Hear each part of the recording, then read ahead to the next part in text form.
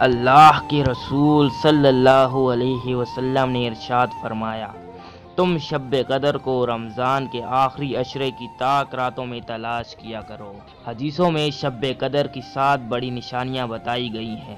جس رات میں وہ سات نشانیاں پائی جائیں تو سمجھ لو کہ یہ شب قدر ہے۔ پہلی نشانی یہ ہے کہ اس رات کی صبح کو جب سورج نکلتا ہے تو چودھویں رات کے چاند کی طرح بغیر کرنوں کے عام دنوں سے اس قدر کم روشن ہوتا ہے۔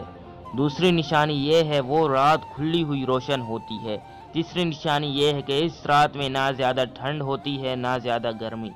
چوتھی نشانی یہ ہے کہ اس رات میں آسمان سے تارے ٹوٹ ٹوٹ کر ادھر ادھر نہیں جاتے۔ پانچویں نشانی یہ ہے کہ اس رات ہر چیز زمین پر جھک کر سجدہ کرتی ہے اور پھر اپنی اصلی حالت میں آ جاتی ہے۔ چھٹی نشانی یہ ہے کہ اس رات میں سمندروں اور کھووں کا کھارا پانی میٹھا ہو جاتا ہے۔ ساتویں اور آخری نشانی یہ ہے کہ بعض لوگوں کو خاص قسم کی روشنی بھی نظر آتی ہے، لیکن وہ اپنے اپنے حالات پر ہے۔ اگر ان ساتوں نشانیوں میں سے اگر آپ کو ایک نشانی بھی ظاہر ہو جائے تو سمجھ لے کہ آج شب قدر، سمجھ لے کہ آج شب قدر، سمجھ لے کہ آج شب قدر۔ ہے